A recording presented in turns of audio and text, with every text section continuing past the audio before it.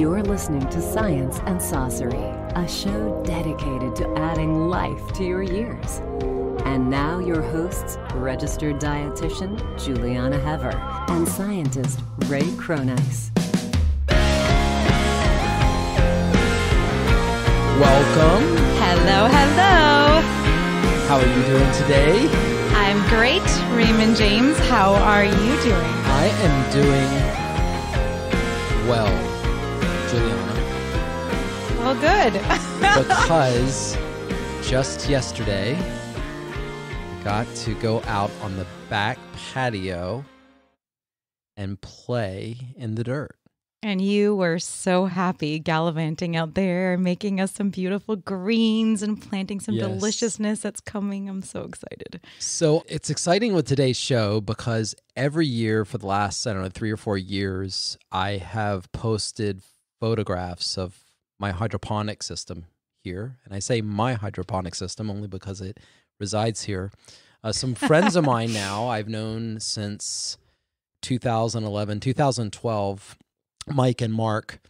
They designed and patented this incredible hydroponic system. And- And what's really amazing, and I hope we can get into some of this today and talking to Mark, who's going to be our guest today, uh, I hope that we can get into just how many rules they broke along the way. So I like them because they they were a little bit rebellious in their in their design approach. They, Yes. you know, people would say this can't be done. Right. But those are always the best inventions. Yeah, You it's, know? it's really great.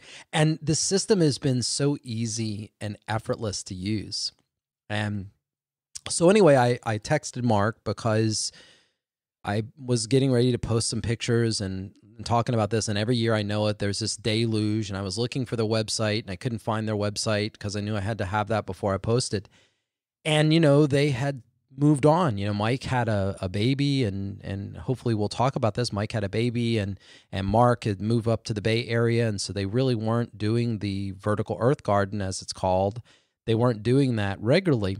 So I talked Mark into putting up a site so that we actually have a site. He has a new site up there for the plans, etc.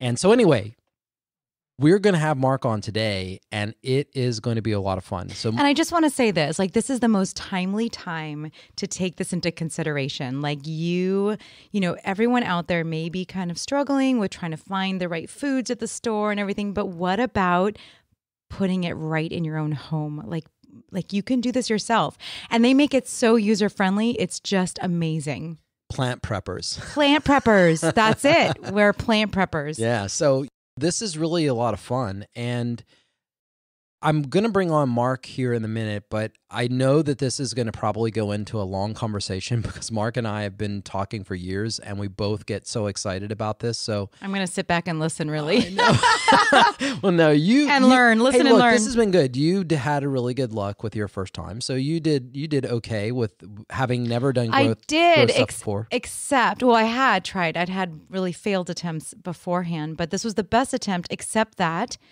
where I live, it happened to be the first time we planted, happened to be the biggest um, heat.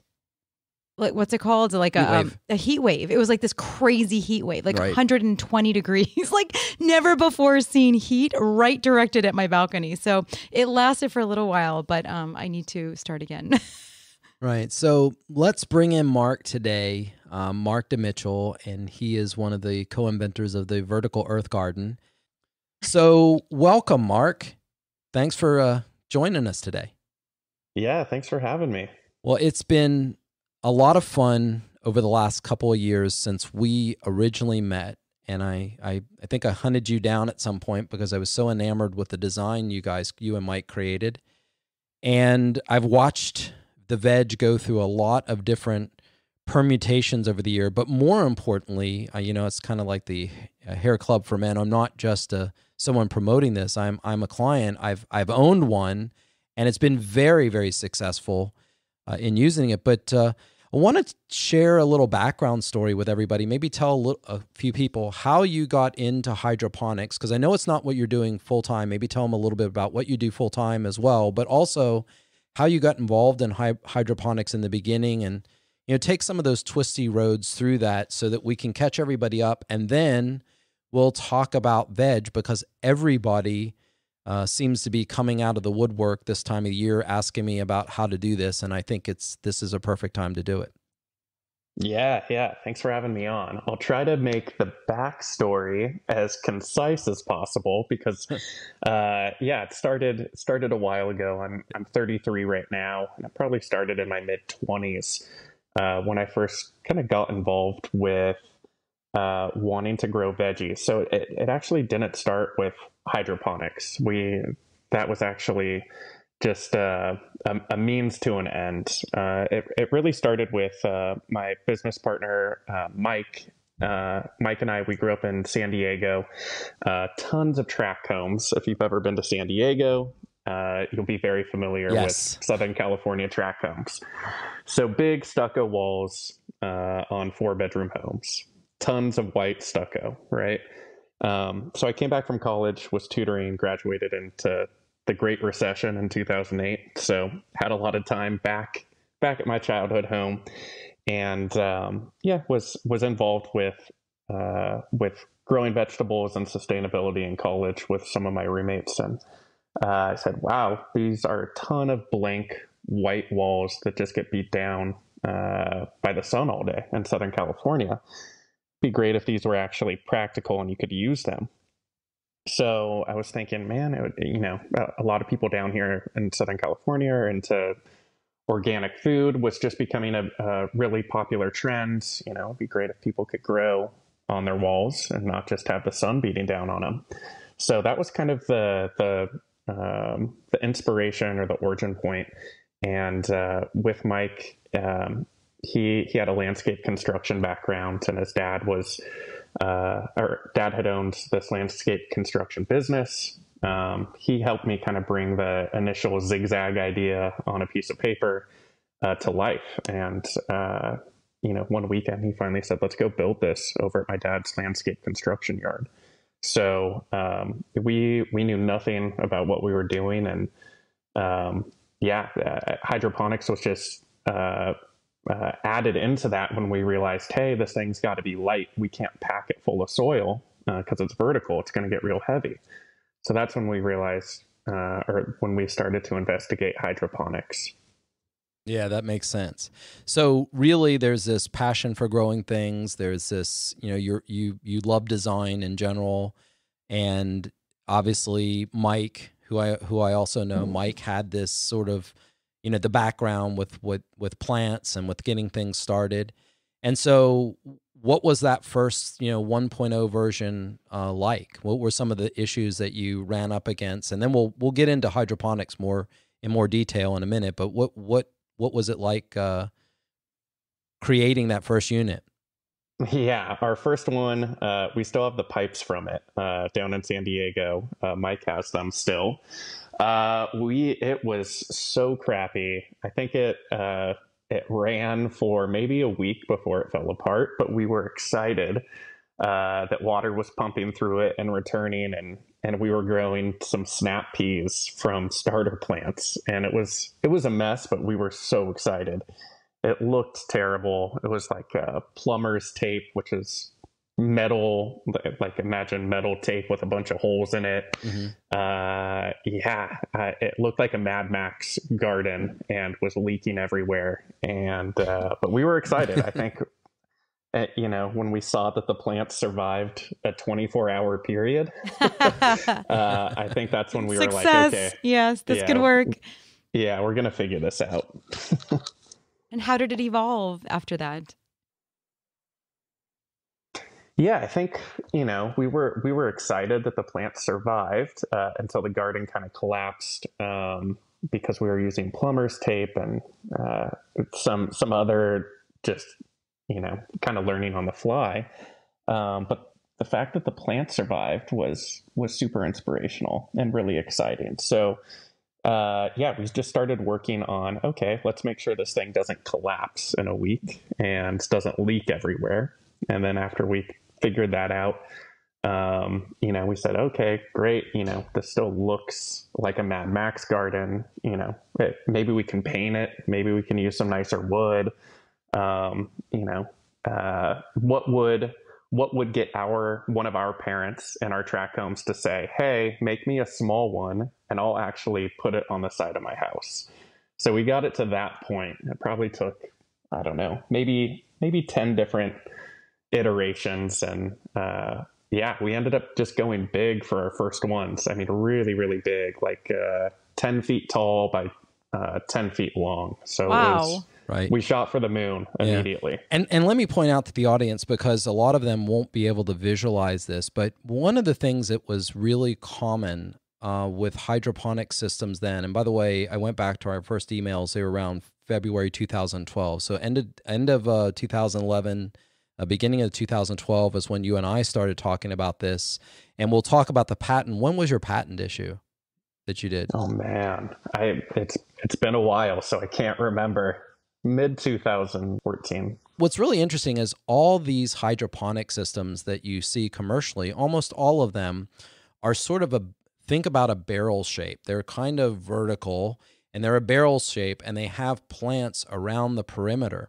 And I, what I think is so really amazing about this story is that uh, Mark and Mike ended up designing something that that serpentines around. And this is going to be critical. It was critical to their ornamental design patent they have on this. It was also critical to the function because when you have a barreled shaped system and you've got a sun that's tracking over you know if it's if you've got stuff sitting out linearly in a field or in a flat plane the sun just goes from one angle and then it passes over to the other angle to the you know setting sun and there's just sort of light. Maybe there's a tree that shades it or something. When you ta- now take those same plants and wrap them around a cylinder or a barrel you create a completely different situation because well first of all the the plants at the top start shading the plants at the bottom kind of like the rainforest trees and the and the underbrush in a, in a forest but the other problem is that plants on the back side of the barrel relative to the sun or on the front side get different amounts of morning and daylight. the ones on the north side versus the south side let's just say it was oriented perfectly with the axis get different and so it's really not optimal because you get this wide diversity of growing. And so, you know, putting one of these on a rotisserie table, you know, was when we, Mark and I were talking about this a long time ago about other kind of creative ideas. Like you could probably slow bake this and put it on a ta- on a rotisserie table, but really and truthfully, what they were able to do is by serpentining this pipe around the plants there is a front and a back in some sense and plants can shade a little bit but what it allows you to orient it and do is really the plants at the very top rung get to grow just as high as they can. And even the next ones just sort of bush out but you end up with a much more efficient use of plants. And what i'm actually hearing for the first time because you haven't really told me that backstory is that configuration actually is a result of trying to use a big large wall when you don't have a lot of horizontal footprint to put a garden. Is is that correct? Yeah, yeah, definitely. Uh, I think I think we kind of got fortunate and stumbled into that design, uh, or the benefits of it for Mhm. plant growth um, was kind of a, a secondary, a big benefit um, of of going vertical and using as you know as little material as possible. Um, but yeah, I mean, compared to the cylinder like buoy kind of like ocean buoy looking gardens that are out there. I mean, you're exactly right. The, the plants get so much more room to grow in all directions, not just out. Right. Um, yeah, and there's a lot of different ways to like uh, support the plants off of off of our garden design that have been really creative uh, that we've seen Right. people do. from that point you guys moved then you came up with some pretty innovative tries at you know entrepreneurials obviously we're trying everything. You're a crackpot till that you hit the jackpot right? But when we first started talking you had deployed a bunch of these gardens on the roofs or on the balconies at nice restaurants in the San Diego area and you and Mike were servicing the plants. Tell, tell us a little bit about that business but more importantly how that changed the dynamic of of say local fresh. Like you guys really created almost a a new category Yeah, yeah. I think um, that being kind of like blissfully ignorant about about business and startups and, and trying to do your own thing, uh, there, the silver lining was that we weren't afraid to try out a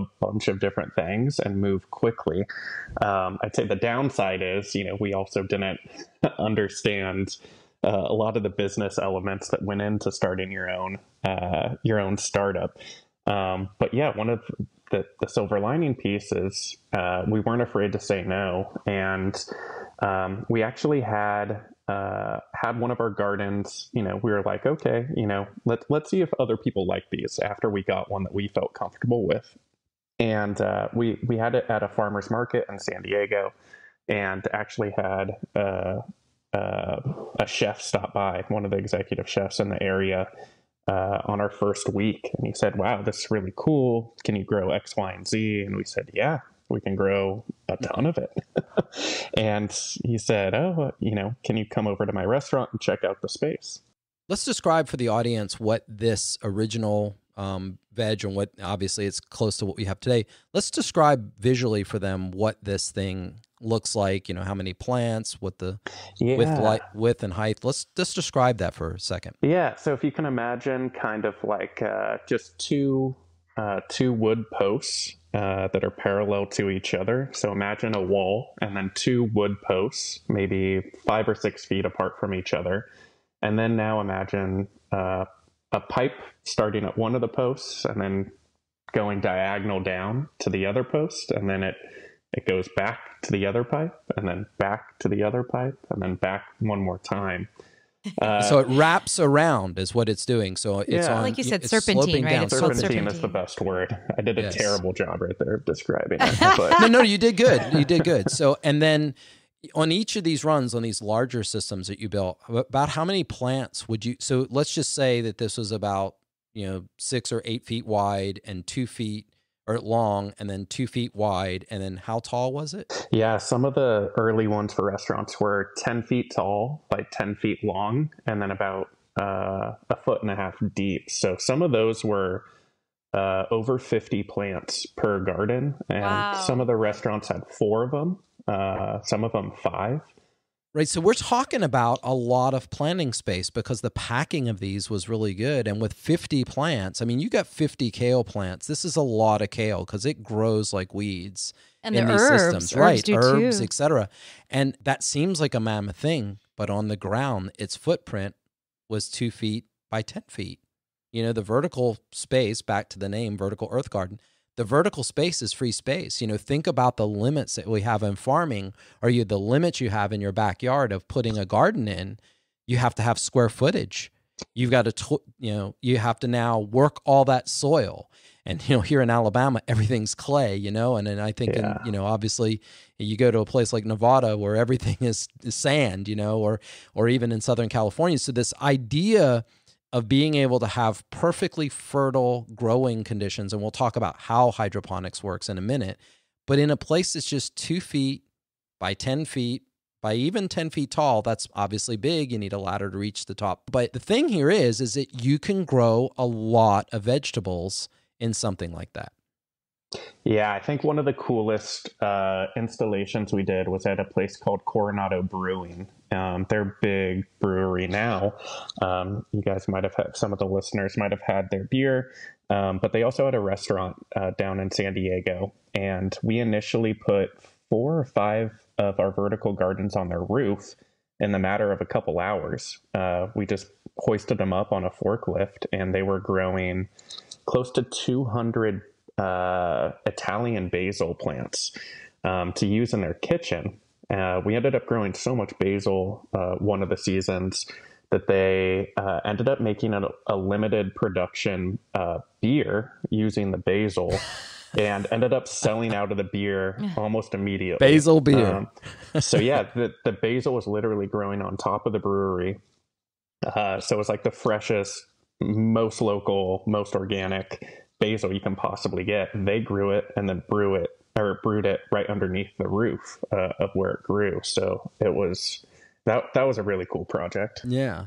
And so, you know, this this becomes, you know, now people are starting to visualize this more that even with a restaurant, now they there were there were other places growing other things. They were using what what were some of the vegetables that and some of the things that were being grown successfully that restaurants were using in their everyday menu?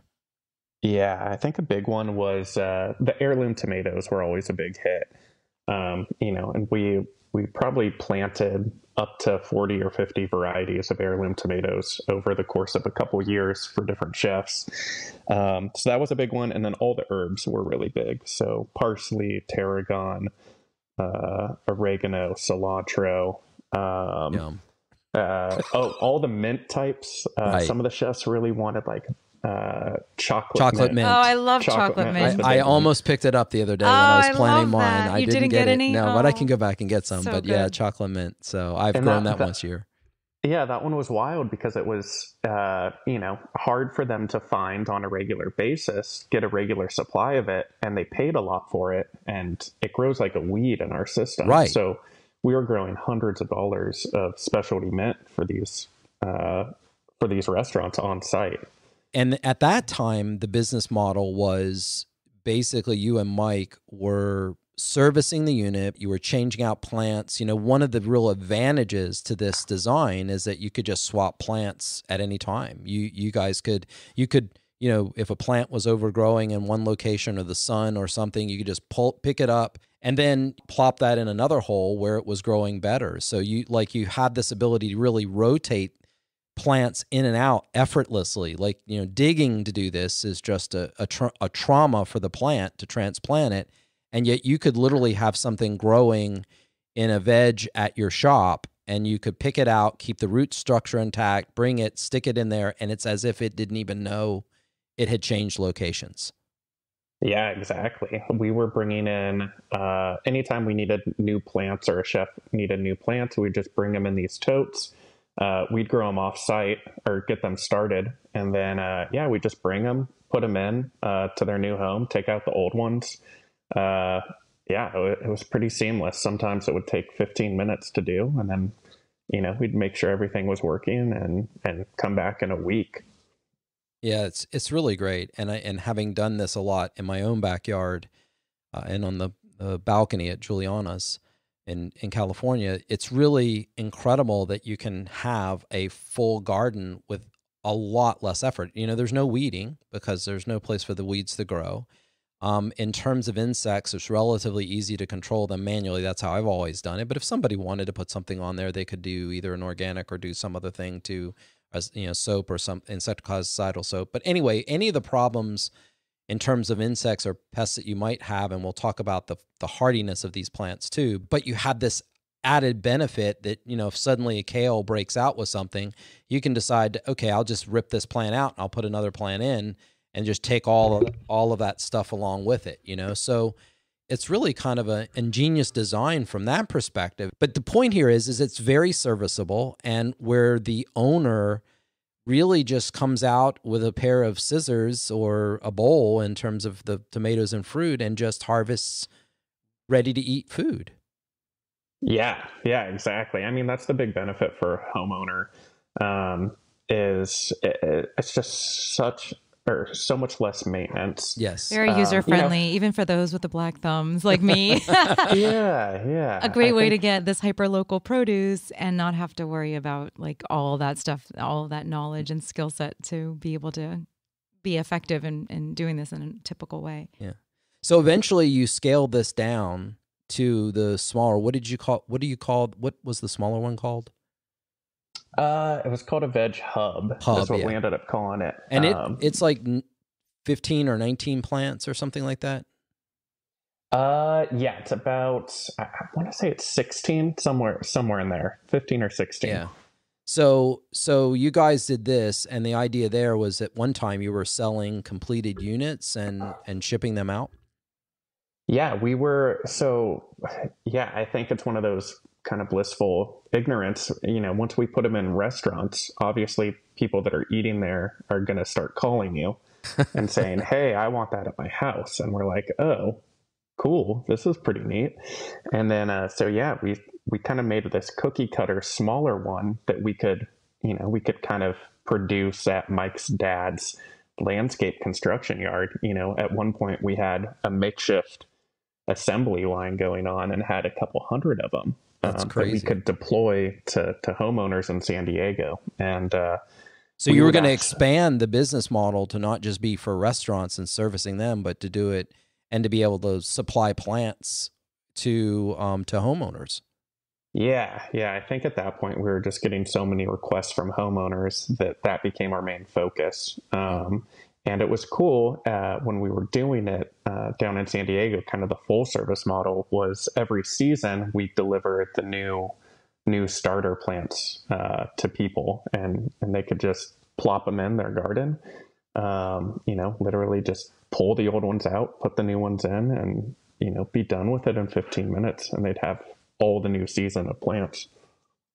Yeah, that's that's really amazing. So let's let's shift a little bit with that Sure. background, just of how you stumbled into this, and talk a little bit now more of what hydroponics really is. And and I'm going to open up here with one part of it, and then maybe set the table or foundation for you sort of to dig in because you obviously have been um, you know promoting and selling hydroponics for a long time and there's a lot of elements there. But one of the things i want people to fundamentally understand is that you know right now when we think about some of the competitive ways or we think about growing our own vegetables you know we'll get things like a permaculture or an aquaculture. And the idea is that you know you have these animals that are doing this and then you take the waste from the animals and then you put it on the plants and then you grow the plants but this idea that the plants are basically extracting mineral and nitrogen content from the soil, phosphorus, et cetera, they're doing that. And then they're taking the carbon dioxide out of the air with the photosynthesis of, uh, with the help of photosynthesis, turning all this into the complex biomolecules that you guys always hear Julian and I rave about, the phytonutrition. So plants take inorganic materials, which we would have tr- traditionally called salts, and they turn them into organic materials. Now, we're not talking about organic food.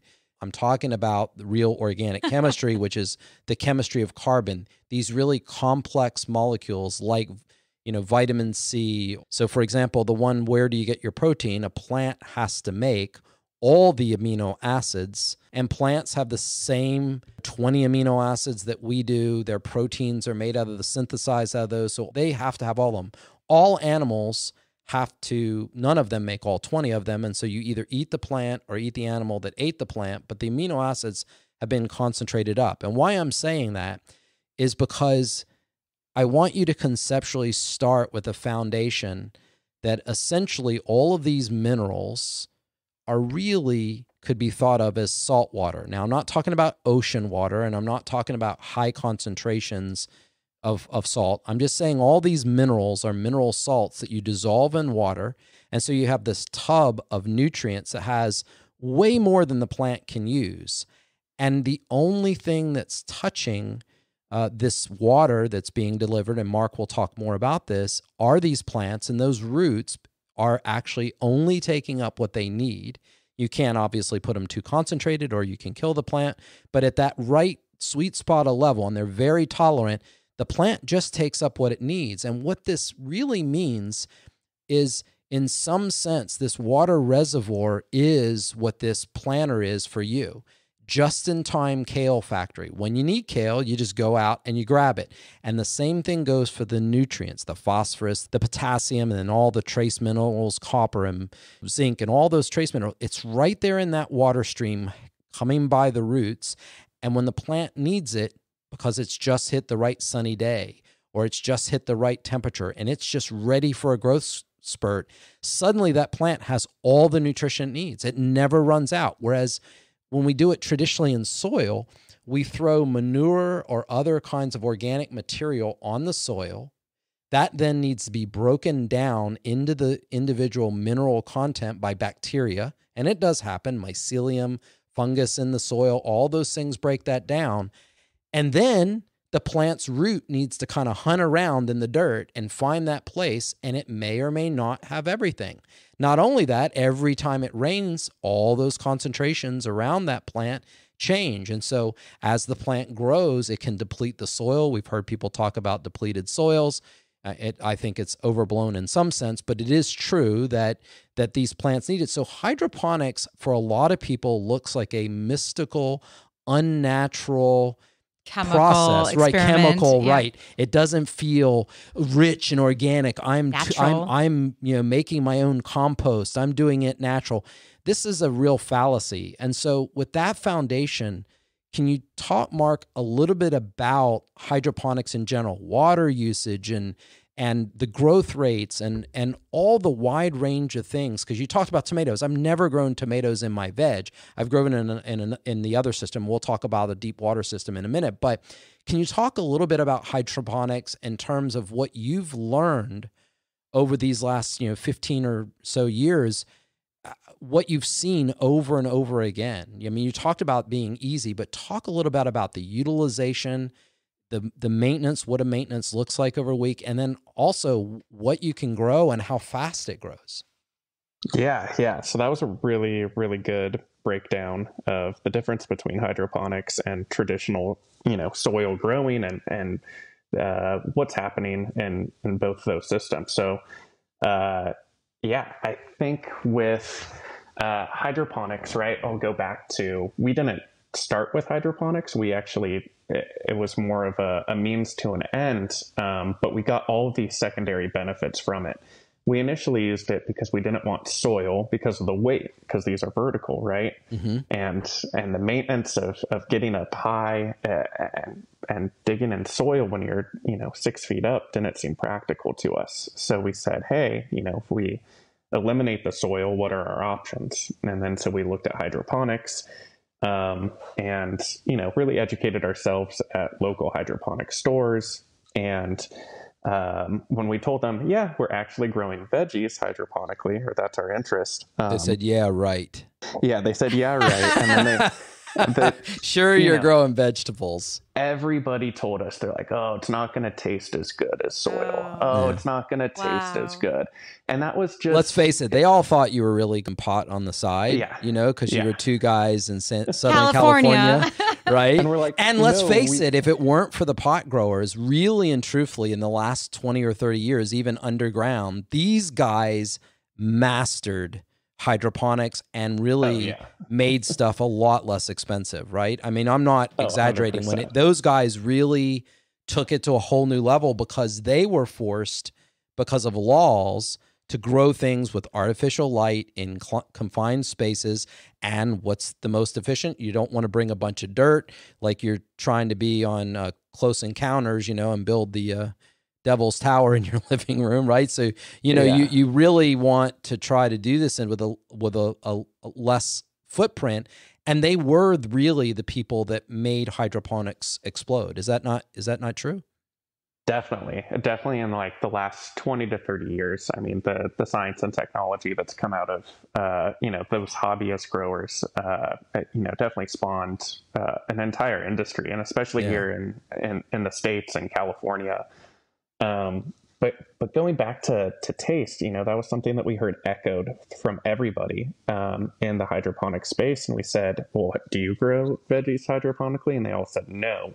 And we're like, okay, so you just, you know, you're really just hearing that it doesn't taste as good and kind of echoing it. And, and we actually went out and did it. Mhm. And we experimented with a ton of different nutrients um, and, and really, you know, did it ourselves instead of just taking, you know, what people were saying and not actually trying it themselves. And yeah, I mean, we, we've grown the best tomatoes I've ever had in my entire life. Like at, at a certain point, Mike and I were uh, were so uh, such big believers in it that we, you know, we regularly told people, you know, we'll do a taste test of any of our veggies versus any of your organic soil veggies.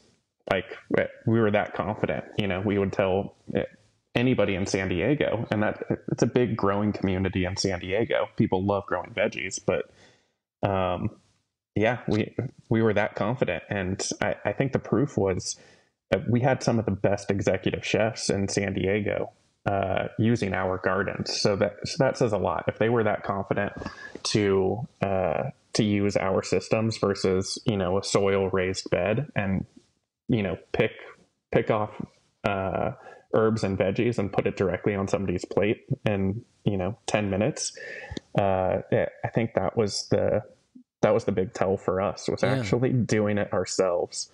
Um, so yeah, I went off on a tangent, but that was a a big misconception. Well, no, but it was a good tangent, and I'll add to your tangent because I'll say when you look at other uh, systems, one of the advantage against, and by the way, if you want to see this visually and you're sitting there, if you just put vertical earth garden in uh, Google, you'll see a lot of the the serpentine. You'll see it; it zigzags back and forth. That's theirs. Now, there's some alternatives that you'll see too. But here's another interesting point. Remember when we were talking earlier, I said something about the fact that the roots have the right amount of moisture. And so the vertical earth garden would be sort of classified as a thin film hydroponic because there's just a small trickle of water going down and it's passing all the plants. And then it cascades down automatically with gravity. You pump the water up to the highest point, and then it just spills right back into the reservoir. And the nice thing about this is that none of the root systems are actually sitting drowning in water unless you have too much flow rate. You can actually put, too much water in it and do that. And why this is important is that when roots just sit in tons of water and you're not careful with the system, you can get root rot. And so a lot of these horizontal systems, you have to be really careful about having them exactly level. You got to be really or or making them go downhill so that the water doesn't sit there. And so there's it's really interesting that you solved that because the water really with that slope that you had, that water, you know, not not only do the plants not interfere with one another on either side, but that slope really helps that water get delivered to the root systems in an efficient way. Yeah, I think that that again that would that just came down to luck. That this initial design that we came up with had so many benefits we didn't intend. Right. And I think one of them is uh, what you just said is, uh, you know, the thin film. Uh, so the roots are are sipping from the stream essentially, but then the whole rest of these pipes, you know, ninety percent of this pipe is air, which a lot of people don't realize. You know, roots uh, root systems need a ton of oxygen. Um, so yeah, I think it just came back to you know we started simple and. Uh, it- with a lot of the other hydroponic systems, you get drippers, sprayers, float valves, siphon valves. Uh, it gets really intricate really, really quick, but that also means it becomes hard to maintain. Uh, so we just have one pump, no drippers, or no drip lines, no sprayers, One no twenty anything. pump from Harbor Freight Tools. I mean, it's just not even an expensive one. You have a backup one. You can afford to have a back one. one. If it goes out, boom, you just pop it in. We're not talking about high tech stuff here. It's it's it's really amazing. I've never taken a measurement of my water pH or anything like that. I just put nutrients in it and harvest vegetables. It's just incredible that you guys made it so simple. And I'm sure there's a lot of things we could do to even better optimize it. But anyway, you were talking about taste, and I got you got tr- sidetracked, and I sidetracked us first. First, but I want to put you back on that because I want to Sure. say one other point after you talk about the taste. I want to make one other point that Julieanna and I had a discussion about.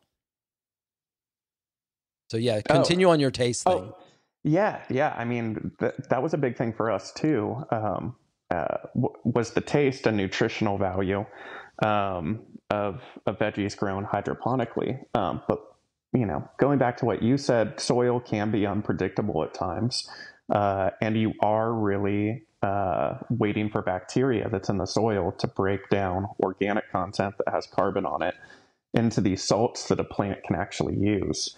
Um, so, I mean, that is kind of part of the fun. And, it, uh, you know, we still enjoy growing in soil as well. We're not pro one and anti the other. We do both. Right. Um, uh, but yeah, I think, um, you know, if you grow with our system and, and put the exact same plant in the soil next to it, uh, you'd have a hard time telling the difference between, uh, if somebody else picked it, you'd have a hard time telling, uh, telling the difference. Uh, of which vegetable or which herb was grown in soil and which one was grown on. But you system. would you would if you put a camera on them in terms of time until it fruits and time until to there. So what did you guys see about that? Oh yeah, so there's I'm glad you brought that up. So two other unintentional benefits that we just kind of ran into after we chose hydroponics was the growth or the growth rate was which was much quicker because plants were constantly being fed 24 7 Mm-hmm. uh, so instead of you know waiting for uh, somebody to come out and water them once every two or three days this is literally 24 7 it's getting all the air it needs all the water it needs uh, and all the nutrients it needs. Um, so yeah the, the growth rate is really really fun to watch um, you know sometimes it could be 30% quicker uh, than than doing traditional soil um, and then the, the other benefit was uh, saving water um, so our system saves about 80% of the water compared to doing soil. It's because nothing's running off into the ground and nothing's evaporating in the middle of the day. Um, so two other, uh, you know, huge benefits Huge, of going incredible sustainability, Yeah. especially in California where we're having all of those problems. Yeah, droughts Yeah. nonstop. I mean, it's it's so efficient. Yeah, and being so close to the ocean uh, in Carlsbad, uh, where, where we're where Mike and I are both from, um, you know, runoff into the ocean is also a big thing. Um, Right. If nobody's familiar with the Salton Sea that's listening right now, it's been decimated, and it's in Southern California, inland, but it's been decimated because of the runoff from uh, farmland all around the Salton Sea, and all the nutrients that washed into it created these massive algae plumes and have killed the fish. And it's it, it really is Mad Max at the Salton Sea. So, you know, people don't think about the the runoff from soil agriculture into uh, water tables and into surrounding uh, bodies of water. Yeah, it's really crazy. You know, it's it's it's it's amazing how much more efficient it is, and the fact that back to the square footage, you have it in a smaller footprint.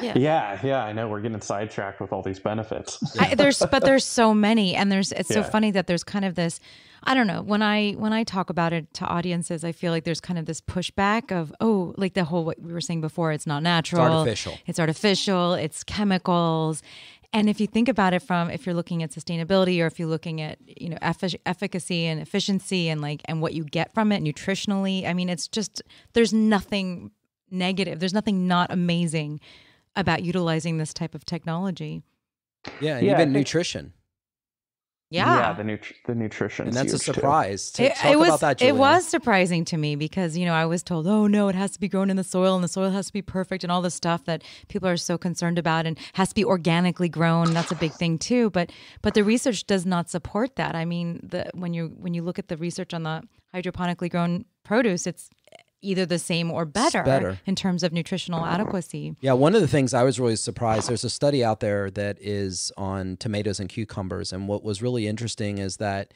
you know there were several when they looked at how were the nutrients uptake from the solution. Um, what's really interesting about it is that you know there was things like, for example, the nitrogen, the potassium were basically correlated with solar radiation and air temperature. You know, so it was that which which was driving that, and then phosphorus was actually correlated with root temperature, and then calcium and potassium were were also um, their content in in the tomatoes and and other things were actually associated with the humidity.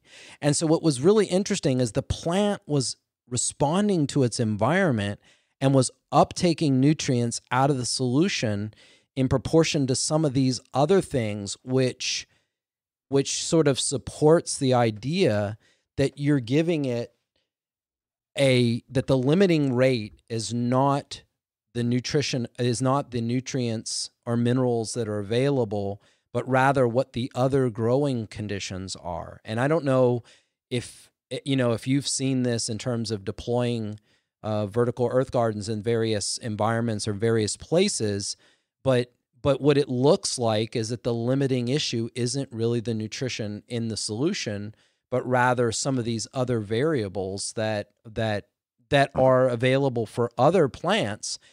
But at that point in time when those increase you know needs are increase uptake are they may or may not be available in the soil systems Yeah, I mean, yeah, clearly you're we can right. grow. We're none of us are belittling soil. So clearly, we can grow vegetables in soil. We're not saying that. What I'm trying to say is, I'm trying to make a reasonable comparison between soil and this because it is, it is infinitely less complex to do it hydroponically. Yeah, yeah, I totally agree. And I I think too it helps get people uh, more comfortable with growing at home because it, it is so much easier, uh, at least in our experience, and people who have grown using our garden have said, I've killed everything. I've tried planting in soil because yeah. there are more variables, right? There's more yes. variables and it's easier for pests to get to. So this is really making it uh, more accessible to people. Um, totally user friendly. So, yeah. So yeah, I think that's a big a big part of it too is just getting getting people uh, uh, more comfortable with growing at home and, and kind of lowering that barrier to entry. You know, you don't need to uh, to have a degree in, in horticulture uh, biology uh, and and you know know exactly what soil and uh, what additives to put in it, and yeah, it, it's a lot more straightforward. Yeah, and you know, I grew up on a produce farm. I think I've mentioned this before in the podcast, but I grew up on a produce farm, and so my whole life was out, you know, picking vegetables, and you know, we would actually did a lot of manual control of things like you know tomato worms and and bugs, and we would pick everything off. You know, all of us kids had that job to go out on acres of fields and pick stuff off growing up, but what's really interesting about this one is that you know for the most part i'm able to just plop everything in i mean i did all of my planning yesterday so i actually set up my vertical earth garden so if you you go out to if you go to instagram i'll make sure that there's some more pictures of that and we'll get some progress pictures but it took me what an hour and a half or so. I don't know, but you were so blissful out there. yeah, I love you it. were having so but much you know fun. what? So so you know, this year I didn't pull everything out. I just cut everything down when it got to be winter, and I drained the water for the system mark. So all I had to do was pull them out, uh, pull out what I had there, and I went and you know went to Home Depot and Lowe's uh, and got kale plants and uh, um, butter crunch and uh, a, you know a chard and a couple of other things and you know, just planted them. And, and so why don't you describe how you plant plants in general? What's different about the substrate or what are the various things? And a little, you know, let's just sort of mentally walk people through what the process is by which you set up something like this. Yeah, yeah, good question. Glad to hear uh, that that you replanted yours uh, for the season. Um, this goes back to when I was talking about Thanks, uh, growing veggies uh, using hydroponics and and really getting like kind of the tribal knowledge of going into hydroponic stores. And uh, people were asking us, you know, um, because we were showing them pictures on our cell phone of, of what we had designed and were running, and they they all said, "Oh, like." that's not going to work if you just put starter plants in from a nursery. It has soil all over the roots and you can't have soil in hydroponics, like not even a little bit. It's not going to be, it's not going to work. It's going to clog. And, uh, you know, so we labored uh, and really, you know, kind of stupidly, uh, uh, trusted them initially. And you know, this seems to be a recurring theme with you guys is that you were off innovating only because you didn't know you couldn't do it. And and that's the theme, yeah. by the way, of innovation. We had Peter Diamandis on here a few weeks ago, and you know, one of the things is you know not knowing you can't do something. You know, um, is actually a really good advantage because if you think you can't, you can't, right? So it was exactly. really interesting that you ran into this so much. A, a, lot, yeah. Um, so we were, you know, washing all the soil off the roots and then planting, um, uh, planting these uh, starter plants from a nursery, you know, like Lowe's or Home Depot, and using like cocoa fiber uh, initially. And talk, talk oh, about yeah, what that is. That's right. Yeah, yeah. It's it's just like inert, so it, it's really just kind of like a neutral substrate for to hold the plant in place. Uh, it doesn't really affect the the pH of the water all that much. There's no nutrition in it. It's just kind of like a substrate. Neutral. Yeah. yeah. yeah. Yeah. And so this is the fiber from coconuts. And so it's like a husk and they pr- compress it under a lot of pressure into a really small brick and then you piece to take a chunk of this and put it in water and it expands i don't know how many times like eight or ten times and it just becomes kind of like soil kind of like stringy soil but you know it's not dirty so it doesn't like it doesn't get on everything you know you can pull it up in a really good clump and so the the baskets that they use are what similar to the baskets that are used for orchids. They're they're net and they have just gaps all the way around. So it's like a a planting pot. It's about I don't know three or four inches in diameter. How big? How big are the ones you use? Yeah, they're three and a half. Right. So so in there you have some of this this coir material, this coconut, and then you can you know plant like he was describing. You can put get rid of the soil and just use the roots in the plant. Or you can do what I just did, which is I just you know put a little bit of that coconut coir at the bottom, and then I you know trim off some of the excess stuff because usually those um, plants are pretty root bound when you buy them at, at Home Depot or Lowe's, you know. So I air them out a little bit, stuff in the middle, and then put a little bit more of that stuff on the top just to, you know, support the plant everywhere. And then the roots just grow like crazy. I mean, you they grow out of the basket, they grow down the pipe. I mean, sometimes these roots can be like two or three feet long. Yeah, yeah. Uh, so so initially, right, we were washing off all the soil and like packing them perfectly with this coconut fiber, and you know this is what we had heard from hydroponics uh, people that had been doing it for years, and um, you know I, I think just out of like you know we had to we had to do some stuff quick one time, and we didn't have time to like baby off all the soil and put it perfectly in the basket and pack it with this cocoa fiber. You know, it's way more steps, but that's what people said we had to do. It was the only way it was going to work. And I think just out of like uh, yeah, just the necessity to make things quicker. Let's just um, say it. This, we're we're all lazy, right? yeah, yeah. I know that's why I changed in uh, doing uh, yeah, this. Yeah, You know, we just put the plants directly in from the starter plants. We didn't wash off any of the soil, and the ones that we had fit the baskets, and we kind of just packed them down with a little more soil and uh, I think we had forgot about them and came back like a week later to this restaurant, and it was exactly the same as the cocoa ones right. that we had like labored over, and we're like, oh man, like.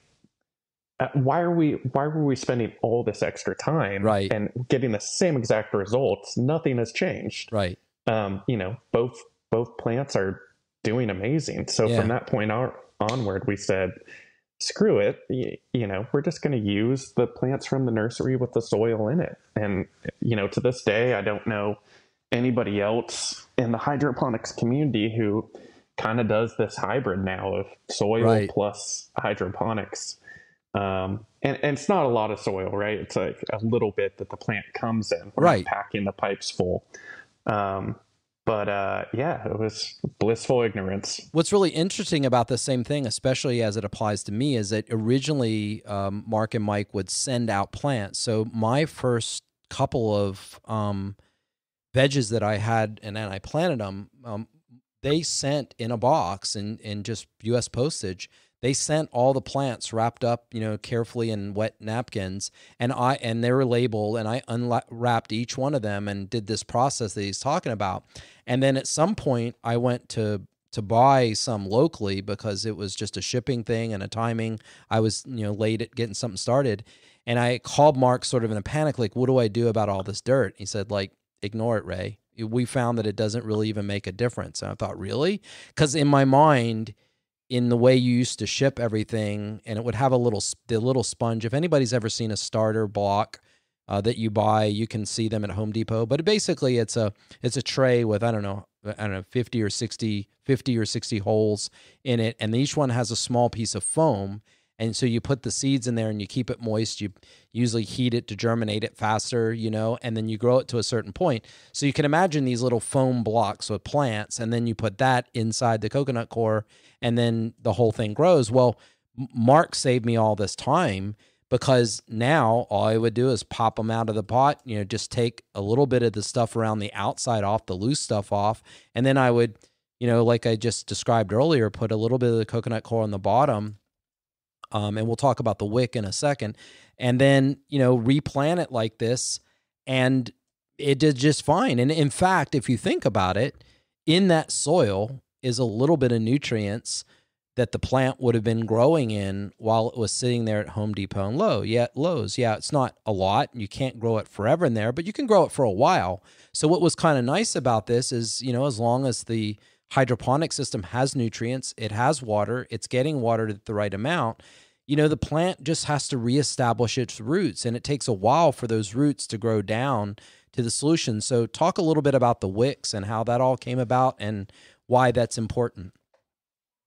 Yeah, yeah. So, uh, so imagine the baskets uh, that you put your starter plant in from Home Depot. Um, there's uh, these baskets hang in these pipes um, uh, just because they're a little bit smaller than the hole that that you cut out. Um, so water is flowing underneath uh, uh, underneath the bottom of of the pot. So you know how how does the water reach the the pot and the roots? So you know another thing. Oh, that uh, other hydroponics people told us was, oh, you got to get drip lines. And, and so the water drips into each basket and then drips down into the pipe. And we said, there's no way we're doing that. So uh, I remember a science experiment from when I was a kid about water tension. And so I I'm just told Mike, I'm I mean, like, hey, let's get some live, cotton so rags to start. And just, I just want to let you, know, know like a live. wick, like a tiki you. torch wick that, that almost like uh, wicks up, uh, you know, the uh, the whatever lighter fluid or whatever goes in them. Uh, same exact idea, and sure enough, it worked. And so it just these wicks were hanging down into the water, wicked up the water and the nutrients to the pot, and then eventually the roots grew down into it. So simple solution, um, and uh, yeah, it, it, it really just kind of ended up working out in our favor. Yeah, it's it's really neat. And so, you know, so now we imagine to everybody we've got um, our plants that we've put in these small containers. We have uh, we're adding some solution, and it's just a you know it's just one of these things. X many tablespoons per gallon of the various nutrient solutions, and don't we don't probably need to go into too much detail there. Um, and then obviously this pump starts pumping this water. What does maintenance on a system like this look like in terms of of how often one needs to add water, you know, just over the life of the system from the very first planning it all the way through uh, through the, you know, time to start taking out some plants and putting new ones in. Yeah, yeah. So say you've already built your your veg, which you know the the average person can do in a weekend, and then a trip to uh, Home Depot or Lowe's.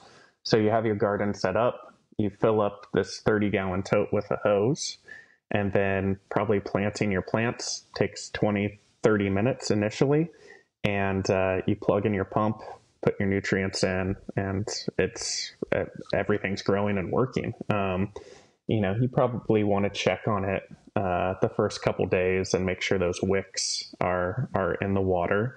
Um, but really you just fill it up fill up that tote with water and nutrients once a week and uh, look for bugs. That's really all we did ever. Like at our restaurants that we had them at, we would only come once a week.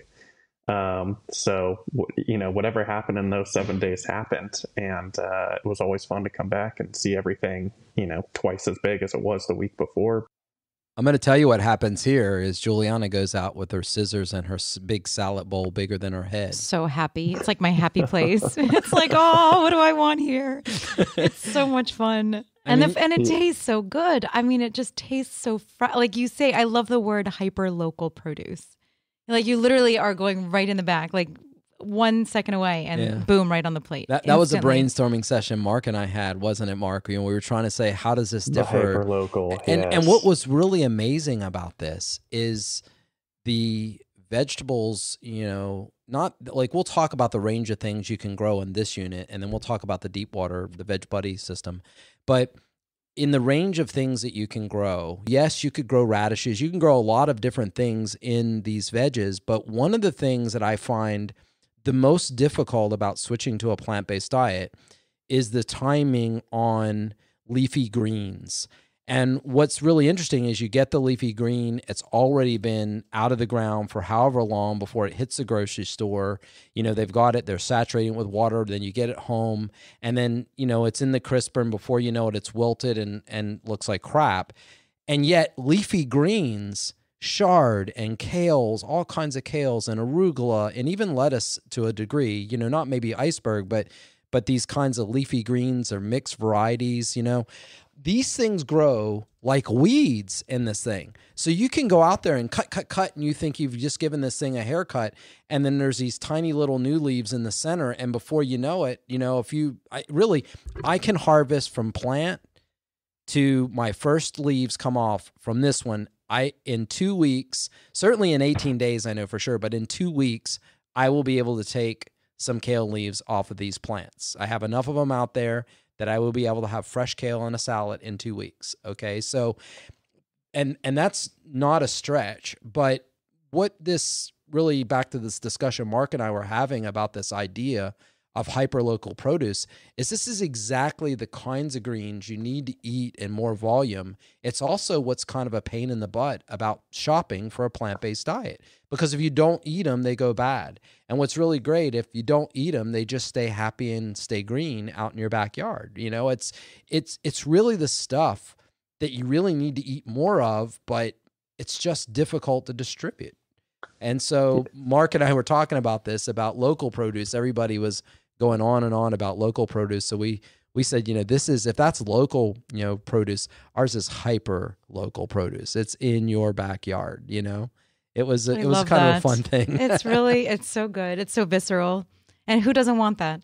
Yeah. As soon as you, by the way, from a dietitian's perspective, I have to throw this out there. As soon as you cut it off the, as soon as it's harvested, that's when the nutrition starts to kind of decline. I mean, slowly, but you know, that's what people are concerned about. And that's why they're saying you need to buy organic because organic is going to have, you know, more nutrition. And that's kind of the thinking of it. But basically, you know, anytime it's harvested and then it has to get from the farm to the market or the store, or wherever you're going to buy it. And it's at the store and then it sits on the, in the back and then it has to be put on the shelf and then it sits on the shelf until you find it and then you get it and you bring it home and it sits in your shelf or your fridge until you eat it. So there's all this time that goes by as the nutrients are slowly, slowly kind of denigrating. But here, hyper local, pick it and eat it and it's like all the nutrients are intact. So it's kind of like a nutritional, you know, party. it's just an Yeah. explosion. It's like the the most ideal way to get your your nutrients. Yeah. Yeah, Michael Goudeau always jokes he wants to have a nationwide two week boycott on buying tomatoes, and his his um his uh, argument is is the tomatoes that he buys in the in the uh, store are always two weeks from being ripe. But they have to you have to wait Yeah. from the ripe. So he said if Yeah. everybody would just boycott tomatoes for two weeks, we could all go buy ripe tomatoes. That's that's so true. But, you know, That's this or you could just to your- plant your own veg. right and this gets back to your situation i know you know you ha- even had this video on your your youtube channel of you cutting into this tomato and eating it and it really is great i mean anyone who's picked and, and this is whether you do it in a backyard container or or in a in a, in a, a soiled traditional way you know eating a tomato that's warm and ripe right off the vine just tastes better. And and it's usually you can buy better varieties. You know they may not be as appetizing in terms of looking at some of the ones although now you know ugly tomatoes are back in for a while you couldn't Yeah, sell them ugly right but produce, now right. ugly produce is back in. It's a in thing. It's like Right, trendy. right, It's but- smart. What a great idea. Right, but this heirloom, you know, you can buy some really amazing seeds, and you can you you don't have to start with a plant. You can just actually start with seeds right in the veg. Isn't that isn't that correct? Yeah, yeah. So the two ways to to grow, right? We talked about, you know, if you kind of want to jumpstart and just go to Home Depot or your local nursery and get starter plants, perfect. They grow they grow amazing uh, in our system. Or, you know, sometimes I even still grow from seed. Uh, Johnny Seeds is one of our favorite uh, U.S. companies up in Maine. Uh, some of the best seeds that we've ever had in terms of variety and uh, success and growth rate and taste. Um, uh, yeah, so you you just take those uh, net cups that we're talking about that Mm. are uh, integral to to the veg, and you can just use soil, put soil, and then just kind of plop your seeds in, and uh, yeah, they'll grow right in the veg. Pretty simple. That's really great. so So, let's describe the alternate system that you guys came up with. You had a Kickstarter. I know I supported you guys on that, and talk about. Let's talk a little bit about the Veg Buddy, and it's sort of an alternate version of deep water culture, and then and and then we'll circle back because I also then want to talk about all the great things that you have grown in the past because you have so much more experience and you've done you've grown so many di- more different varieties of things and worked with clients uh, that have grown you know different varieties. I want to hear about that, but let's talk first about the Veg Buddy, where that came from, and and describe that to everybody. Yeah, so this was uh, this was Mike and I had moved to apartments in San Diego, and we had these tiny little patios and balconies where we couldn't have our you know a bigger veg at at our, each of our apartments. Um, so we wanted to grow at home, uh, but we we couldn't have these big big gardens on our patios. So we said, okay, like what can we do? There's no outlets here we don't want to do traditional soil. Um, that kind of seems like a headache, and we're we're lazy once we get home. We need something real, real simple, uh, real lazy. We didn't have to water at all, so we came up with the Veg Buddy. So um, so really, it's uh, a combination of hydroponics.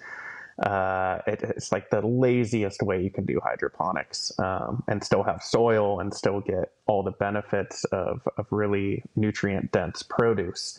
Um, so, yeah, I'll do my best to describe it. Imagine an orange Home Depot bucket. Uh, you put a hole uh, with a drill halfway up up the bucket, and then you have this big lid, and uh, in this lid is a basket that hangs down and that basket has all the soil and holds your plant roots and your plant. And again you just put a cotton wick and it wicks up the water and the nutrients from the bottom of the bucket uh, to the plant.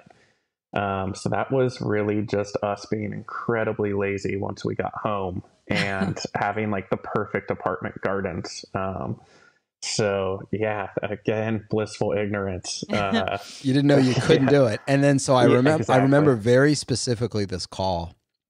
And you're like Ray, you won't believe because you know as as most people can imagine, you know I love to geek out on this stuff, and so Mark would call up and ask about stuff. I'd be calling him, but I just remember when you said you won't believe. I just did this video, and we took a normal soil, you know, container tomato, and we took the Veg Buddy and we just time lapsed it for 30 days and we measured how much water it used and we also did the growth and he said you're you're not going to believe this i'm going to put this up but you're not going to believe the difference in how this thing does so tell everybody about the results of that and and how that worked out Yeah, I want to say I did a side by side video time lapse of tomatoes. Yes, it maybe? wa- Oh, it was I- I have to tomatoes. go back on YouTube. it was tomatoes look. Yes Yeah, it was over the course of a couple weeks, but you could see how much quicker and how much taller uh, the tomato in our veg buddies was growing compared to the soil one. And we were even giving we used like really premium soil and uh, some like mycorrhiza boosts in Mhm. it too. Like we gave soil a fighting chance. Like w- we gave it more attention than the veg buddy. Like watered it regularly, and uh, it still just didn't catch up in terms of the growth compared to the veg buddy. And we had to baby it the whole time too. Whereas the veg buddy, we just planted it once and left it. yeah it seems like it was like you watered the veg buddy twice and then you what in Yeah. 30 days and the other one you watered it like 14 times Yeah, I think it was about every other day. Right. Um, so so yeah, it was pretty wild to compare. And we even had like the soil one up a little higher in the video. Um, uh, yeah, and it's by the end of it, it still wasn't as tall and as Yeah. big uh, as the Veg Buddy one. Yeah, so this is an alternate. Uh, if someone's just uh, dipping their toe into hydroponics, this is kind of a, a simple, I think they're called deep water cultures. But basically, what happens in this case is that with the hole that he's talking about drilling in the bucket, the water, it, when the rain hits the top of the plant and the dirt, the soil, it goes in there and obviously drains through down to the bucket. And since you don't want to drown the the um when Mark said that air is so important around the roots, which normally happens by your soil draining well. If anybody's again planted, you know, plants in Alabama, you, you have this this you know clay that's not draining well and everything ends up dying. So you, you want the water is going to drain through the plant, through the net basket, into the bucket. And when it reaches a certain level, it hits that hole and then it overflows out uh, into the, um, uh, you know, in, uh, you know, onto the pavement. So now you have, you know, you're keeping a good airflow around this, but the roots will send some roots down, which is the plant is perfectly happy with having underwater, but then other ones look like just sort of like fuzzy you know pillows all around you know where they're they're just all you know the whole thing is just full of roots. You know they're just beautiful white bright roots and you can tell that it's healthy. Uh, i'll say for you if you're in the south or you're any place where mosquitoes grow the other two things i would um, i would say is using the little mosquito dunks which is a bacteria it's not poison. It's a bacteria and it's harmless with us. If you use the mosquito dunks that will kill all the larvae. And you won't have to worry about it being a mosquito um, a mosquito factory in your backyard. I use I use the dunks actually in my veg hub too. So I do both of them. I put a one mosquito dunk and that's it. And I've done experiments where I've let them form because in Alabama, obviously we mosquito is our national bird or is our state bird. And so, you know, we have tons of them here and and I and I've let the larva build up and then put a dunk in and boom, they're gone within 3 or 4 days. They're just all all gone. So it works really well. But anyway, back to this the the the the hub. I mean, sorry, the Veg Buddy. You know, this is a way to sort of get started, and you know, it's a bucket. Do you guys still do the the the the tops, or at this point, or are are you sending people to places, or how are you doing that? We, yeah, that's a good question. Um, so so we don't sell those any longer on our website uh, just because yeah we were doing too many things uh, it was a lot to keep up with a right. side side note behind this whole conversation mike and i were working full-time jobs while we were starting this as well uh, so that was uh, more or less we had to kind of consolidate what we were focusing on yes. Um, but they're very very easy to create super cheap uh, you can do them with Home Depot buckets and, and paint them. Uh, we have these really cool wraps that we had a local person sewing to make them aesthetically pleasing. But you can, um, uh, if you Google search Kratky with a K, that's, uh, I believe, an acronym for deep water culture. And there's a ton of how to videos on how to make your own. Um, uh, and, and, the lids, I believe, are available online. Uh, if you type in five gallon bucket lid, uh, yeah, Amazon, I think, has ones. them for sure. So, yeah, yeah. Let's kind of change subjects here just a little bit. And, you know, as we sort of get to the end of this thing, I want to really talk about some of the various installations you've done besides the restaurants, but also some of the wide range of things that you've grown uh, in both of these and which ones maybe you think are better suited for some over the others? What kind of plants are better suited for some over the others? Can you talk a little bit about that so people can get an idea of what they can do? Yeah so again yeah, going back to going to these hydroponic stores when we were first starting you know after we proved them wrong or you know we'd come back in with photos right and and showed people and they're like oh i guess it worked um, so then we got, you know, people saying, oh, you know, roots for tomatoes are going to be way too big for that thing. And sure enough, we grew tomatoes, uh, you know, huge heirloom tomatoes, came back, showed them photos, and they were like, oh, I, I, guess, I guess, that works. How did you support and, the tomatoes? So, yeah, oh, yeah. the tomatoes, it, again, the, the, the, structure just happened to be, it lend itself, you know, the initial design to, you know, you could weave the tomatoes in and out of the pipes um, but also uh, we we uh, we would kind of string them up um, and, and, make like a tomato web in inside of this garden, um, and uh, that's kind of how we supported them or our preferred method. Would you plant them on the lower rungs then? Yeah, yeah, yeah. So we would plant them lower on the garden because they would grow so high and so tall that uh, we needed to use the top part of the garden as kind of like their support. Mm-hmm. Um, so that was one of the strategies uh, that we use when we do bigger plants is you know plant them lower and use use the the garden structure and the and the other pipes as a support network for them. The, yeah, it, you can get really really creative um, uh, it, in terms of kind of training your plants to grow certain ways or supporting them. Uh, we had people send us pictures of all these cool different ways uh, that they would support a lot of their plants, like their uh, snap peas or their tomatoes or cucumbers, squash. Um, this kind of goes back to your initial question of what you can grow. and uh, we had people send Wow. us pictures of pumpkins that they were growing. Um, we did we did five foot tall sunflowers one time for a restaurant. Um, yeah, I mean, it, if it falls in the veggie sphere, you can pretty much grow it in a veg. Um, the only things that uh, are are tricky that I wouldn't recommend are are the tubers. So like carrots, potatoes, uh, yams, anything that grows under uh, Right. under the dirt. Probably not the best idea. Uh, it, we we trust me, we tried it and and it worked. Although potato buckets, if you Google, talk if about you potato search, buckets. if you search on YouTube, potato buckets are all the rage right now, and people are doing these above ground, you know, even larger installations. But five gallon buckets, people are growing five gallons of potatoes. Now, for me, I put, I I love to. It would be, I probably should do So it just cool. because of the whole potato thing. But what I usually do is I segregate my, again, you, I, I try to do this a little bit more practically. So things that I can easily buy, like onions or tomatoes or even radishes, because I know you've had some great radishes you grew in there because they're small enough.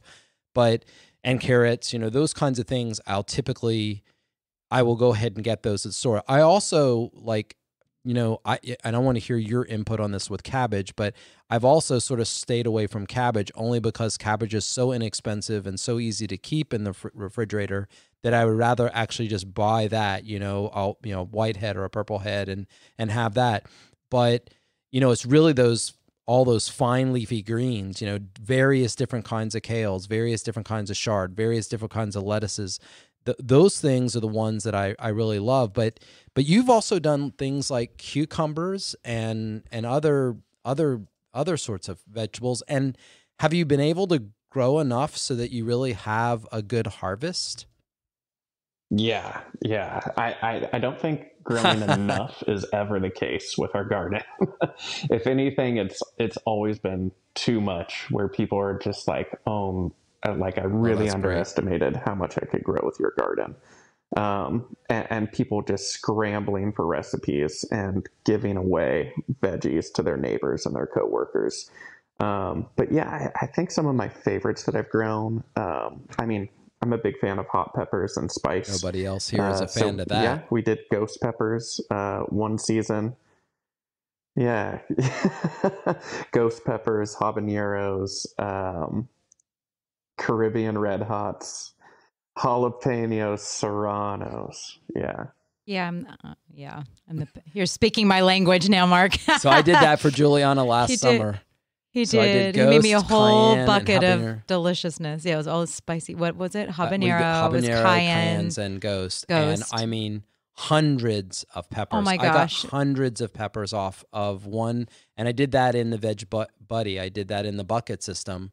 I think I've sent you pictures of that. I'll put. I'll. I'll make sure that. And what was great is that we had so many, like you can't really eat all of those in one season, but we dehydrated them and then and then peppers. you made these powders that are incredible and they're lasting all year. This is like a year ago now. And and what's really amazing about growing these peppers, and you know you know this firsthand because you've grown so many with this, is these peppers have an unbelievable fragrance when they're fresh and you dehydrate them fresh and seal them up immediately.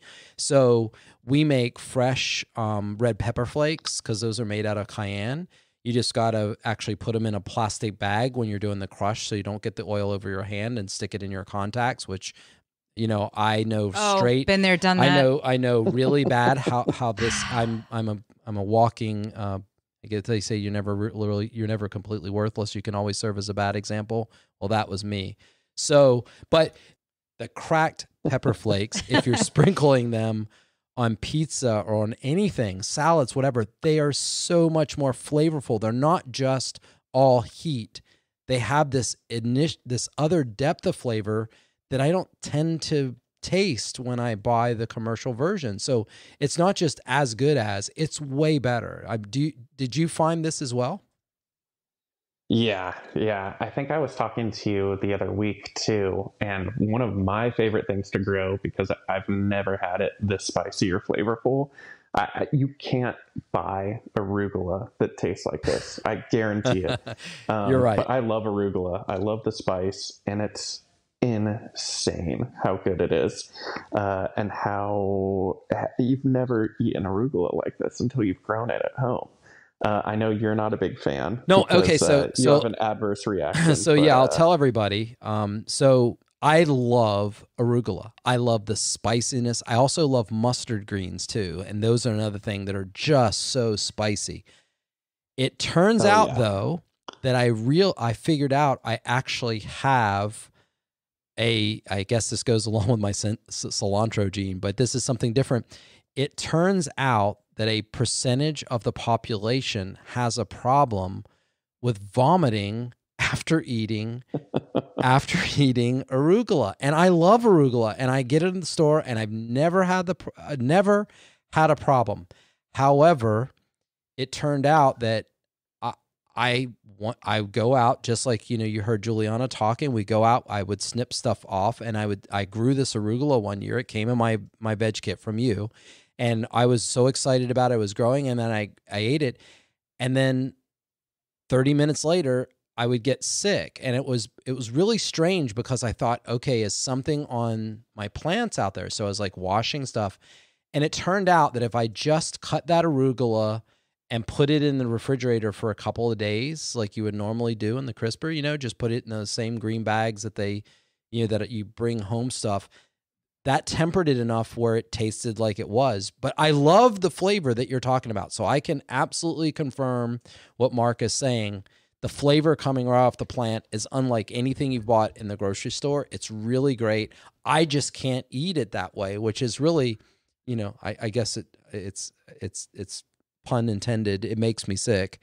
You can actually have an issue with with that. So, but but particularly the arugula and the mustard greens, and I guess it's something to do with whatever it is that makes them spicy. So, Yeah, I think this this just goes back and proves you know an earlier point of of you know kind of the misconception, or at least this was ten years ago that hydroponic uh, veggies weren't as flavorful, and I, I couldn't disagree more. Um, you know, just hearing us talk about how excited we've gotten about things that we've tasted off of it, it's like uh, it, you know the proof is in the pudding. I'll I'll let people's taste buds uh, judge for Dictate. themselves. I agree. but I'm I'm pretty confident.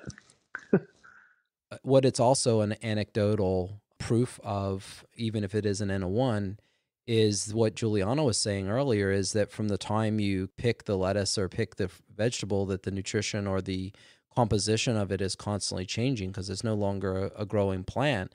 And the fact that I can't eat that because of that particular phytonutrient, which may have benefits, it may not, right? But the fact that it starts in one place and then it tempers in the refrigerator for a couple days, and we're just talking about a couple of days, and then it didn't bother me. That's just an, sort of an example of something a that you have this amazing flavor that you can get right off the the plant right off the veg that you wouldn't really experience with arugula you buy that's been sitting who knows how long in containers or getting slimy and moldy. Everybody's had that. You buy it you bring it home. It's got moisture in it from how it's been sitting and then within 2 days everything's slimy and disgusting you know and you got to toss the whole thing away. Well this is just just in time harvesting and we even have an example of something that clearly is changing over time with it for me to be able you know to to have one response with it fresh off the plant and another after it's been in the refrigerator for a couple days. And so what else is changing? That's my question. You know what and i've always wanted to do those studies down the road. This is one of those things that when we have enough research dollars maybe it's another one of those projects we talk about with this in the podcast all the time. Once we get everything off the ground where we can really do some video and some group projects you know wouldn't it be great to test some of the nutritional levels and do what the pot growers have done you know create strains of cruciferous vegetables where we hit it at the right time with a ph change hit it at the right time with a water temperature change hit it at the right time with the light change and actually produce vegetables that are many more times enhanced. I mean they're definitely doing it with cbd and thc and all the different variants so it, it can be done and a lot of these phytonutrients that Julieanna and I are always raving about, these are these are things that plants put out as defenses because they can't run very fast and they can't fight, you know. So they're they're putting out a lot of these things and David Sinclair's work on xenohormesis, Mm. once these things are produced as a as a response to stress, uh, in the environment that that is then communicated to us by us sensing those same kinds of compounds. This is what and that seems to be one of the is. most effective in terms of chronic disease management and, and avoidance. It's like so powerful. Right, Uh, right. Like, like, yeah, those are the most so, powerful so, phytonutrients. so you know there is a possibility as we move forward here. It is a po- it is possible that we actually can, you know, create, if you will, you know, ultra healthy or ultra ultra, you know, uh, nutritious, you know, veg- vegetables. And I think that our chances of doing it and controlling the variables in hydroponic are a lot better than trying to do it in soil. I mean, it's just there is so many variables when you're trying to do it in soil. Not that you can't grow great stuff there. And we also always point out that, you know, when all of these tests, all these studies that have been done on the positive benefits of eating more fruits and vegetables in your diet, they're not running out and getting GMO, you know, organic vegetables. They're, you know, not that those don't have some advantage, but, you know, they're mainly just getting the vegetables they can. So imagine we could go even to the next level. It's better than, better than the organic you're receiving and better than than than that because we've actually you know gotten it down to a science where you just have a little controller that's varying these things for you and you know based on the light or the sun i mean it's really interesting of where this could go in the future um but when the control but anyway so i want to take you back to where arugula was something you could grow that didn't. I know I, I wanted these to happen. I wanted this conversation to happen like this mark. I know when we first started talking you're like well i don't know. What am i going to talk? I said mark you and i can talk about this forever because we we both are so passionate about it. And and Julieanna who's never really grown anything she's now passionate about it because she, you know, she quite frankly, she's spoiled of being able to go out and just clip, clip, clip, you know, and she's, she, you know, how much kale can you eat off on these? And you know, Mark, how much kale these things can produce. Like oh, I can, Yeah, I so can most out people that can't veg. keep up. Most people can't keep up, but she can. Yeah, I'm that's proud of it. Uh, thank you, thank you. So- you know, well, I, yeah, just one last point. I mean, I, I think it's wild too that you know some of the veggies that chefs or uh, that kind of like the higher end produce uh, stores or grocery stores carry that are you know you see that are, are so expensive um, are actually really easy to grow at home and, and grow grow like weeds at home. So uh, and not only Let's talk about what are some of not those? only expensive, but right now unavailable. right. That's Yeah. people are having a hard Yeah. time finding things. So right to have it right in your backyard Yeah. and not have to depend on anyone is extraordinary right now, especially. We're, we're going to do a whole show on that. But if you have rice, if you have dry rice, if you have dry beans, you know, if you have some of those things, you have, you know, some spices. I mean, you know, you can grow a lot of greens, which is that Yeah. other side of the plate. It's it's so easy to do, and and as little time as two weeks. So if if I it, we didn't have right now, and this this was being recorded right in the middle of the lock, the, shutdown, you know, the quarantine. But if we had started two weeks ago with our plants, we would be eating already all of our kale. I mean, it we we would have plenty of stuff because it's cool weather right now, perfect growing season for the kale and the chard. I mean, it it just grows fast. What what else were you going to talk about in terms of what other plants like aruga that you were surprised that you could grow, and and what are the things that you think are growing like weeds that they're really you know they really uh, that you were talking about with the restaurant owners. Yeah, yeah, I think um again some of the some of the plants that get really big kind of shocked me like squash uh always shocked me um and you know talk about something that grows like a weed in the system um any any type of summer squash um will just absolutely explode um uh, How do you that one, support the base of it when it's that large? yeah, so so a lot of the squash have these really really uh, kind of like stiff leaves and branches that come out, and those actually just kind of grow out and and grow uh, grow and hold itself up in this pipe structure. But sometimes too, we would uh, we would use uh, just like a growing net, like a white net and just kind of drape it over our veg and just give it a little bit more support. But um, you'd be surprised with uh, with the root system and then those uh, those big branches and leaves that come off. I mean, it will support itself um, uh, even with uh, you know 10, 12 squash hanging off of it. Wow. Uh, yeah, but uh, you know, going back to the peppers, that's that's always been my favorite. Um, but uh, yeah, I mean, you name it, we've we've tried growing it. Um, uh, but really, we've had success growing everything. I think one of the coolest ones uh, that we did. Um, I think I mentioned the the ghost pepper was was really fun, um, but eggplant are really fun too. Oh wow! Yeah, Japanese eggplant are really cool, um, and those grow really really quick as well. Uh, they're just kind of fascinating plants. The the veggies that are kind of expensive at the store that you pay a lot for, but actually grow like a weed and you can grow at home. They're super easy. Kale, uh, basil, uh, any of the specialty mints, um, cilantro, uh, heirloom tomatoes. Um, it, you know, all of those grow rapidly uh, in in hydroponics at home. Um, so, yeah, th- those are ones people can look forward to growing. Well, this is great. So, what I hope to do out of this, um, I actually pulled Mark a little bit out of retirement. so I'm going to be yeah. the I'm going to be instigator for Mark and Mike again in that Mark's actually now up in the, the Bay Area working with a startup another startup company on unrelated to plants. And Mike has had a brand new baby in the last year. So he's got a year old baby. So that's congratulations. Yes. My, yeah. So yeah. they have set of plans, and these are the original plans I I used, and they have like the larger unit, but they also have this Veg Hub unit.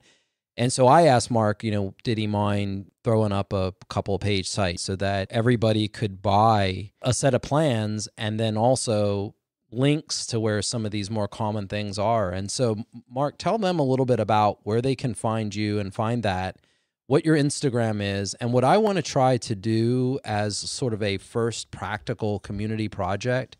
Julieanna and I want to try to promote people who are growing great vegetables, and we'd like to feature just like you know people that are making amazing plant-based dishes and stuff out of our healthspan cookbook with things that they grew at home and hydroponics. I mean, obviously, if you guys out there have a garden too, that's great as well. But it would be fun to start putting that up there and also sharing some of these pictures over on I know you're not using Instagram every day with your site but you still have access to it.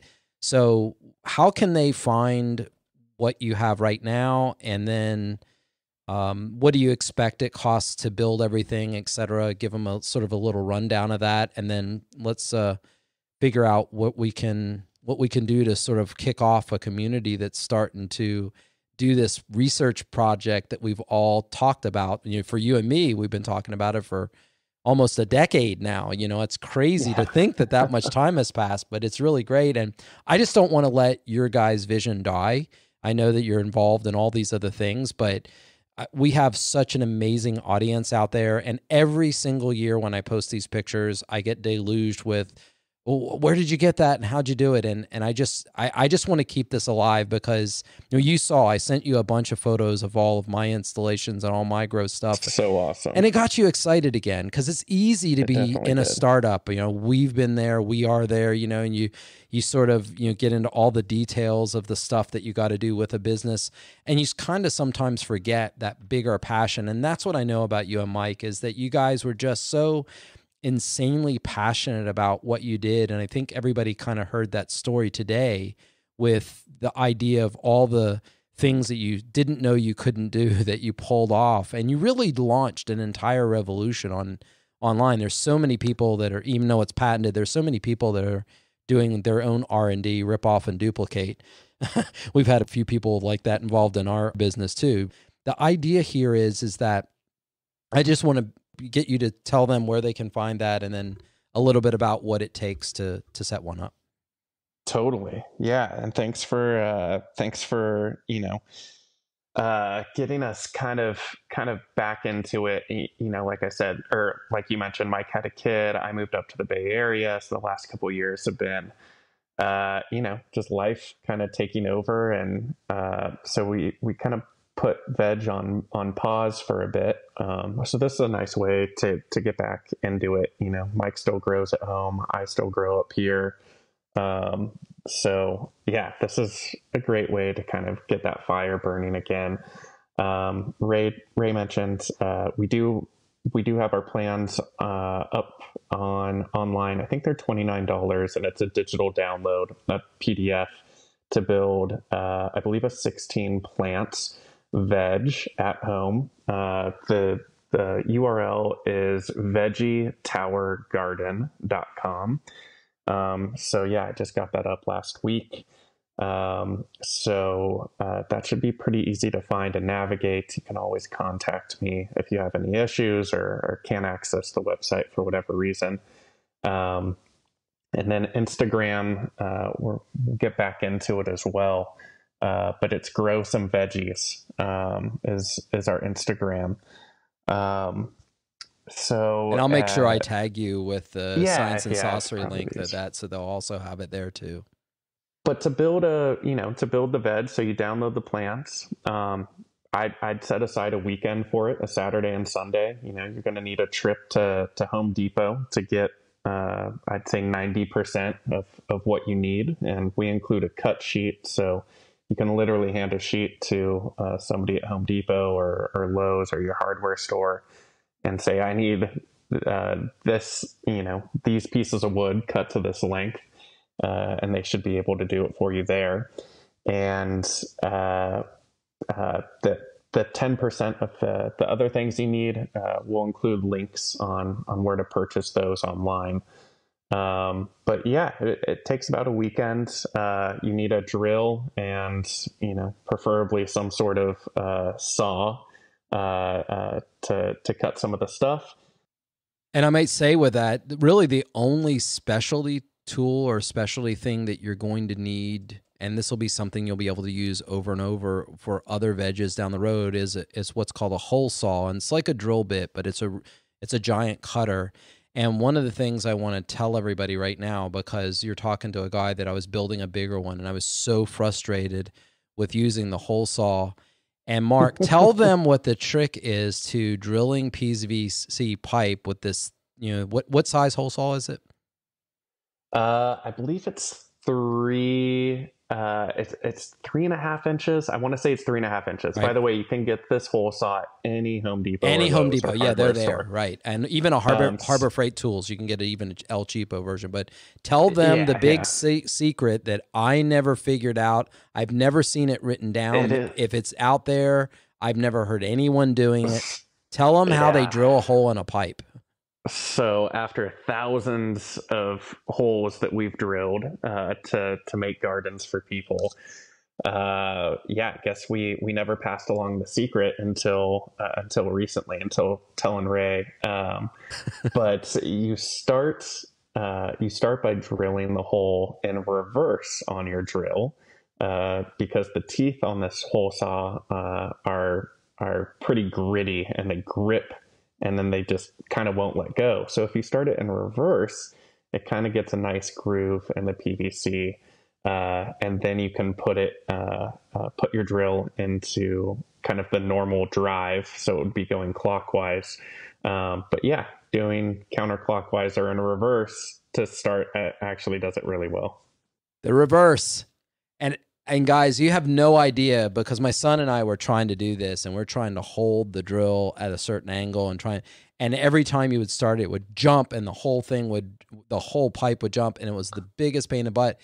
And I he didn't Mark didn't let up on a secret back then. I'll just let you know guys that even though we were great friends over all this time when I was doing this, he never volunteered the secret reversal the reverse drill technique until we were talking last weekend I was like, you know, I only thing I'm worried about is everybody drawing holes because it's such a pain in the butt. And he goes, well, so there's something we probably didn't ever say because we were doing it ourselves. So you guys have that secret now. And I, I once he said it, the light bulbs went off, and I said, "Oh my gosh, yeah, of course that works." You know, that I can see exactly how it works. So, you know, you'll be able to use this over and over. And if you build one of the smaller veg hubs in the the plans for the veg hub, is that correct? Yes, yeah. And so, do you think at some point you can also add the older plans that you had for the larger system? Yeah, we actually just had somebody download plans today from our site and ask about the six foot system. So okay. double the size. I think so I know who that not... somebody was. yeah, yeah. So I had to I had to email uh, Mike today to get those six foot plans because okay. it's been a while. So we dusted them off. Okay. And uh, yeah, if, if you download, uh, you know, just the, the three foot plan that's on the site, we'll we'll send you the six foot one as too. Oh, fantastic! Or, we'll, yeah, so we'll send you both plans uh, for both sizes. Maybe, maybe what we both, should do is we do you, do you, have a do you have a some kind of coupon code or something that's on there that we can do so we can track all these people that are are doing it with us because it would be fun to sort of create a community on this. Yes, we should. Yeah. I don't have one set. Well, let's figure. Now, we'll figure something out, and I can put it in the in the yeah, launch for this in and, a description. Right, it'd we'll be fun. Definitely do it for you guys. So you know, this has been fantastic. Thanks for taking the time. I know it's late for you, and it's no, late. thank you guys both. And and I I just really want to keep this passion alive. What you and Mike did, I'm I, am i am so Thanks. grateful. I can't tell you how much, how many vegetables and how much produce I have eaten off of this this garden this project. I've had other systems that use soil. I've had, you know, planted systems, but this thing is absolutely the has been the easiest one to do. And uh and Julieanna and I just love, you know, eating all those fresh vegetables all here. She's she's excited Thanks, right now because by the time she gets back, because when I get home, I'm gonna get yeah. When I get back here, I'm it'll be, get, everything's gonna be bloomed. Be yeah, it's like perfect timing. I hope that we can continue to turn this into something and maybe I can do some, you know, Julieanna and I are ready to start doing some live streams. So right now, you know, awesome. obviously subscribe for people who've been listening to our podcast for a while. It would be great for ha- to have you guys go and give reviews. Those things are great for helping us. And then also we have a new YouTube channel, Science and Saucery. We've been uploading our podcast up there, just sort of a still image or a little animated image with uh, the podcast, and we've we did some test streams to Facebook Live. We did uh, test streams to um, to YouTube, and those are all both working. So we'll probably be doing more of this uh, together. So we'll we'll be doing that. We we've interviewed and have been interviewed by Crocs in the Kitchen. Those guys have just they're Brian and Jessica are just so much fun. We're we're having so much fun working with them, and they're really you know starting at 800 pounds. They're really just you know killing it in terms of of doing well. Their YouTube channel is growing like crazy. And so I think you know this very well might be one of the very the first things I've talked about so many ideas about doing projects, but this may be one of the first things we can do with sort of a a a revision of what you guys were doing to support your groups. Talk about your the YouTube channel and and real quick what is up there because there there are some guides on building things. There's some th- things that you guys put together in the past, and then the subscription system. You have some of the older videos on that too. Yeah, so our YouTube channel, oh man, it's been it's been a while. Again, bear with me. It's been been a few years until the last couple weeks when uh, when you got me got me back in to uh, to getting involved, and it, it, ended up just being a really good time in my life and Mike's life um, to do this. But yes, our YouTube channel, uh, I'm sure you sure you will include a link to it. Yes, um, but it it does have uh, a lot of how tos. One of the main playlists is kind of a companion to the DIY plans. Uh, so if you get the DIY plans, uh, we'll send you the link to the playlist as well. That's public um, and that will kind of give you some of those tips and tricks on on uh, on building your garden over the weekend. Um, some of them are with uh, painting pipes. Um, if you want it to look really cool. And then we also have a bunch of videos on planting from seed, planting from uh, nursery plants, kind of like we talked about earlier. Um, and then, yeah, some of the seasons, uh, we have playlists that covered whole whole growing seasons when we were doing deliveries uh, to San Diego residents. So we're going to keep those up there. Um, they might be Fantastic. a couple years old, but it's it's cool to see over the course of three months. Um, you can see we did a, a video or two every single week for like three months, and you can kind of see the progress yourself if you're kind of unsure about this and, and right. see if it's for you. Yeah, so that if you just put Vertical Earth Garden in YouTube, you'll get it. And their channel is called Veg, V E G, Veg. So it would be really great for us to be able to have that. And then also the things that we may do. There's a bunch of DIY. You'll see the DIY um, playlist for building the hub. and that's all the things that you kind of need and obviously the plans just give you all the details etc and then you know give mike and mark you know their ability you know they patented this so not that they're going to be out suing anybody or doing anything like that but at the same time i like you guys to be able to benefit from all this innovation and work. I cannot tell you how grateful i am to to have been able to do this and know you guys have watched this whole thing and i just want to see it take off in a more community way. So for sure i will stay involved. I'll be posting images on our mine and Julieanna's uh, um, Instagrams, and we'll also put put stuff on the Science and Saucery and Health Span Solution. And you know, just wait to see some of our recipes we're going to do with some of the things that we grow this summer. It should be a lot of fun.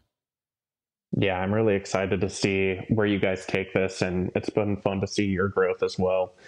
Um, you know, over the over the course of really, like you said, the last decade. That's so great. Yeah, th- thank you so much for having me on. Uh, All right. Thank you guys, so much, Mark. Thank you for being with us. This us. has been awesome. I knew that was going to go long. But fascinating. Yeah, it's fun. I hope and everybody loved inspiring. this. Like, I really can't wait to do this again. Thank you so much for joining us on this very leafy green path to good health. It's always the food. So remember, Keep eating right. Thank you for listening to Science and Saucery. For more details about the content in today's show or to contact Julieanna and Ray, please visit us at healthspansolution.com. Welcome to the first day